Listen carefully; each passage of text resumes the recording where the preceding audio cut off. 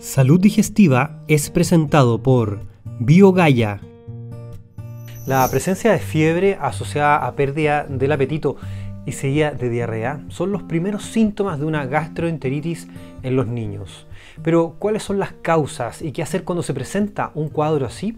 Se lo vamos a contar a ustedes en la siguiente entrevista. Francisco, bueno, Francisco es pediatra, yo estoy seguro que la gente que ya está viendo el programa lo conoce porque es habitual panelista de nuestro programa. Y hoy día, Francisco, queremos hablar de, un problema bastante frecuente en la población y hoy día obviamente con foco en los niños, que es la gastroenteritis. Explicarle un poquito a la gente, yo sé que la gente ya conoce de la gastroenteritis, pero nunca está de más reforzar los conocimientos y los conceptos, ¿no? Sí, claro, mira, eh, como su nombre lo indica, itis es una inflamación y gastroenteritis significa que está comprometido el estómago y em, el intestino. Esos son los dos grandes eh, sectores del, tubo digestivo que se ven afectados en forma más importante y los síntomas dependen de cuál es la que más se compromete. O sea, cuando hay vómitos indica que probablemente está más comprometido en la parte del estómago, pero eventualmente hay un continuo en que parten con vómitos y rápidamente después empieza la diarrea, que es el otro síntoma importante, ¿no es cierto? Eh, que indica que ya se está inflamando las zonas más distales, más, más alejadas del tubo digestivo. Todo esto frecuentemente acompañado de dolor abdominal que puede ser más o menos intenso y más o menos continuo. Generalmente son más bien como retortijones, ¿no es cierto? O sea, son intermitentes. Y puede o no estar acompañado de fiebre. O sea, yo diría que esos son los tres o cuatro elementos más importantes. El dolor, eh, vómito, diarrea y la presencia de fiebre. Son los elementos que distinguen un poco a la, a la gastroenteritis. Correcto. Ahora, este, este cuadro eh, pudiese ser grave, llegar a ser grave en los niños. Eh, particularmente en los niños puede ser bien grave, claro, porque eh, los niños tienen proporcionalmente más agua en el cuerpo que los adultos. Por lo tanto, la pérdida de volúmenes importantes de agua, ya sea por diarrea o cuanto peor todavía cuando se juntan vómitos y diarrea, eh, puede llevarlo rápidamente a una deshidratación.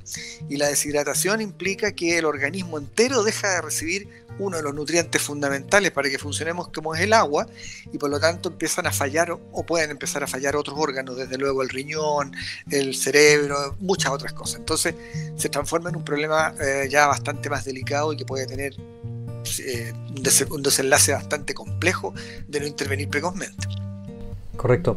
Eh, entendiendo cuáles son los síntomas, la, gravedad a la que puede llegar un cuadro como, como este, la gastroenteritis, eh, ¿cuáles son en, la consulta pediátrica las causas más frecuentes que te llegan, eh, Francisco?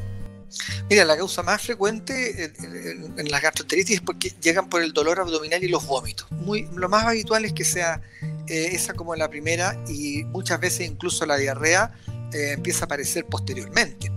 Y es un elemento que se agrega un poco más tardíamente. Entonces, la presencia de dolor de guatita, eh, los vómitos, que a veces pueden ser muy, muy incoercibles, muy, muy, muy frecuentes, muy agobiantes para el niño, y la diarrea, cuando ya empieza a ser eh, otro elemento digamos, crítico en la situación, son los que marcan las consultas. ¿eh? Y son los que deberían motivar a consultar también. Generalmente la fiebre es un elemento que puede, eh, no es tan regular. ¿eh? No siempre está, pero cuando está presente, alarma también bastante a la familia y es otro motivo por el que igual puedan consultar a, los servicios de urgencia o, a, su médico. ¿Cómo prevenir? Yuta, es, difícil, porque la, la prevención tiene que ver con algunas condicionantes que están relacionados con hábitos.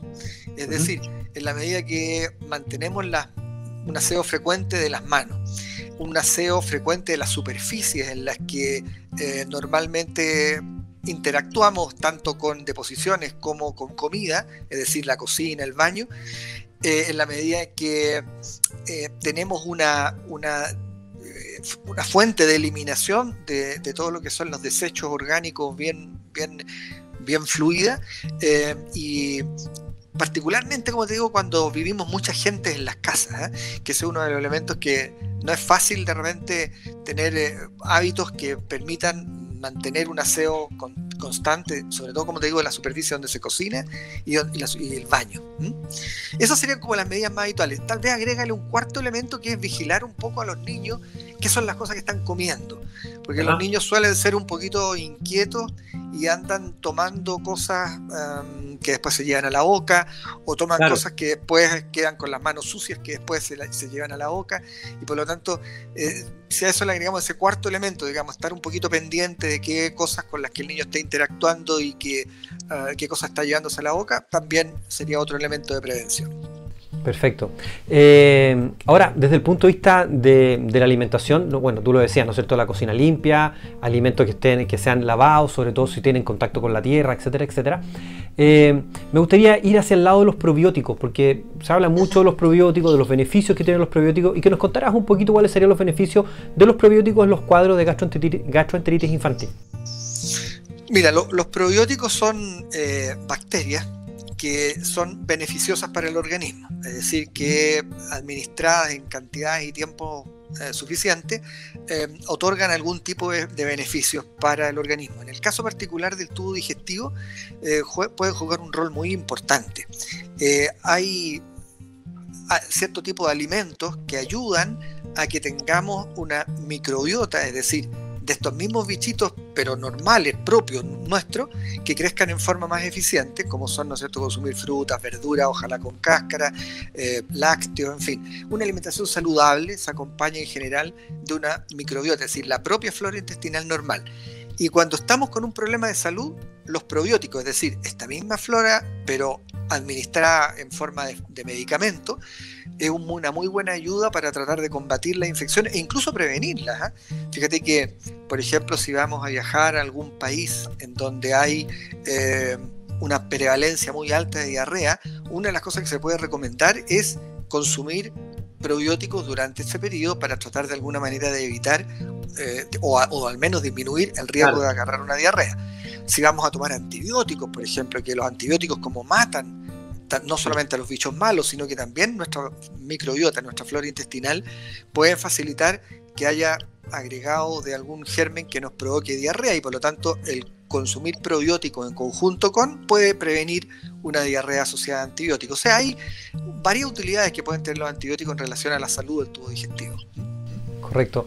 Eh, son productos que se pueden tomar eh, independiente de la prescripción de, un médico. ¿Lo recomiendas tú que sea prescrito por un médico, por un pediatra, por un médico general? O sea, siempre es conveniente porque si bien en Chile los probióticos están... Eh, no, requieren receta médica para comprarse. Eh, su uso, cuando no está indicado, tampoco es apropiado. Es decir, ningún tipo de producto externo al organismo debiera uno usarlo digamos, en forma eh, no bien supervisada. Y particularmente, ¿no es cierto?, en estos casos, que son gérmenes que los que queremos que sean nuestros aliados, debemos usarlos bajo indicación médica idealmente.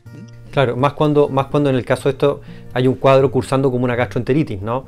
Que, que, en el fondo, que en el fondo es policausal, donde tenemos que entender si es bacteriana, si es, si es, viral, si, hay, si, hay, si está intoxicado, o de repente los cuadros digestivos pueden ser síntomas de otra enfermedad que no tiene que ver necesariamente con, un cuadro digestivo, podría estar manifestándose por ahí. Entonces, a poner mucha atención la gente en la casa que estas manifestaciones, los síntomas que recién hemos conversado con el doctor eh, Francisco Moraga, tienen que ser siempre supervisados por un médico, por un doctor y seguir esa evolución. Pasa mucho, Francisco, y quizás es momento aclararlo también para reforzar el tema educativo que los niños van, las enfermedades van evolucionando, entonces muchas mamás dicen, oye, pero es que mi hijo amaneció con fiebre solamente este día, eh, fue al pediatra y le dijo, bueno, observémoslo, puede ser un cuadro viral, puede ser una alergia, puede ser mil cosas, que, el médico plantea eso, pero los niños en 48 horas, en 70 horas van cambiando eh, los síntomas de la enfermedad y se manifiesta distinto, ¿no? Entonces, Claro, y fíjate que eso es súper importante lo que tú señalas, porque muchas veces la fiebre como causa que podríamos, da motivo para otra charla, digamos, pero para otra conversación, pero la fiebre muchas veces atemoriza mucho y la verdad es que el problema nunca es la fiebre. La fiebre es nuestro aliado, ¿no es cierto? Nos ayuda a pelear contra algún tipo de germen que nos pueda estar generando algún problema, es más bien parte de nuestras defensas. Eh, lo que hay que preocuparse, y hay que insistirle a la mamá, es qué otros elementos acompañan a la fiebre, que esos sí que son los que pueden producir problemas. Es decir, eh, veamos si está con fiebre, más diarrea, fiebre más vómito, fiebre más dificultad respiratoria, fiebre más pintitas en el cuerpo, en fin. Hay otros elementos con los que hay que preocuparse más allá de solamente la fiebre. Exactamente. Interesante tema entonces tener en cuenta todas las señales que tú nos has dado de alerta frente a una gastroenteritis, lo peligroso que puede ser instalado este cuadro ya en un niño que no tiene atención y el tema y el uso de los probióticos que hoy día son tremendos aliados eh, no solamente en la pediatría sino que en la medicina en general. Muchísimas gracias Francisco por estar hoy día junto a nosotros y no me voy de, este segmento sin recomendar que visiten la, página de la Sociedad de Pediatría, la Sociedad Chilena de Pediatría, donde también hay información muy interesante disponible en lenguaje muy muy sencillo para las mamás que de repente están angustiadas por conocer algún tema. No se vayan a cualquier pater Google, no se vayan a, cualquier buscador, sino que aquí hay uno confiable y me gustaría que tú nos dieras las señales, Francisco, para poder llegar a, esta información. Claro, mira, en la página de www.sochipe.cl está la sección del diario Mi Hijo, donde pueden encontrar mucha información que antes lo repartíamos, antes de la pandemia lo repartíamos en todos los hospitales, consultorios, etc. Hoy día por razones naturales no se puede hacer eso, pero sí se puede consultar la versión online, que ahí están todos los números eh, en versión digital para consultar todos los temas que ahí extensamente hacia la familia y el lenguaje para la familia están desarrollados. Perfecto. Muchísimas gracias Francisco, un abrazo grande y que tengas una muy buena jornada. Muchas gracias Claudio a ti, que estés muy bien. Chao, chao.